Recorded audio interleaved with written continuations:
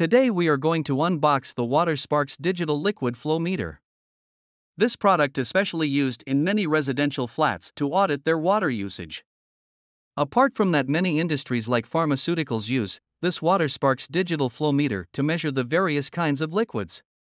The product is protected with that bubble wrap packaging so that the product won't get damaged during transportation.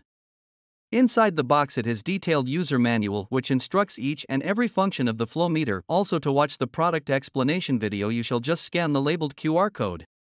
This product come with a special function called power saving mode. The display will be in an off state and once the water starts to flow automatically the display turns on and shows the reading.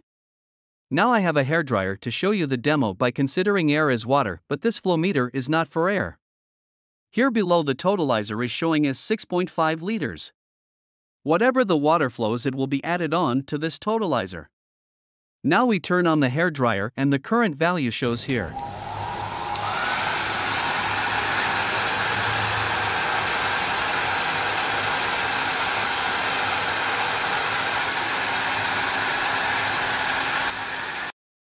As of now 343 milliliters has been passed this current flow was added to this totalizer earlier it was showing 6.5 liters now it is showing 6.9 liters which means the current water flow has been added to the totalizer.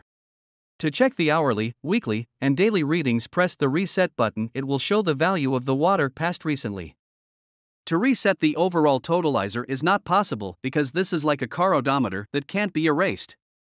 But you can erase the other periodical total by long pressing the reset button while it displays the reset total.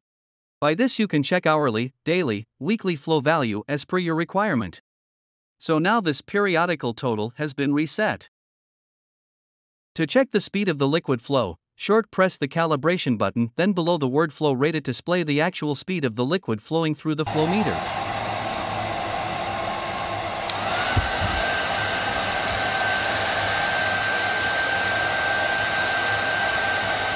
See now I am switching off the hair dryer the flow rate gradually decreases to zero. To change the units from liters to a gallon or other measuring metrics, press the reset button and long press the calibration button, immediately a word unit will be displayed, and your current unit will be blinking. To change, press the reset button and set your preferred measuring unit. Now we are setting it in liters, to confirm, long press the calibration button, and now it's been set. Let's see now how to calibrate. Density and viscosity differ for each liquid. To calibrate the device long press the calibration button, it displays as cal. Feel this is a factory setting so do not change that, leave that as it is. And press reset button to calibrate. Now again press the calibration button 4 digits will appear. To toggle press the calibration button and bring the blinker to the first digit. To run the flow meter faster increase the value to 1 or 2 and to make it slow set the values as 0.9 or 0.8 based on your liquid. And long press the calibration button to confirm. Orientation and battery.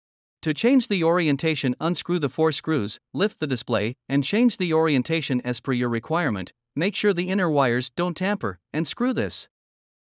To change the batteries unscrew the four screws from the stainless steel back panel, lift the entire part, change the batteries, and place the back part. Position the stainless steel panel and screw it. Finally, before fixing the unit, check this arrow mark, which indicates the water flow direction, and connect it. Any plumber can connect this product in the pipeline with the help of two numbers of 1 inch FTA.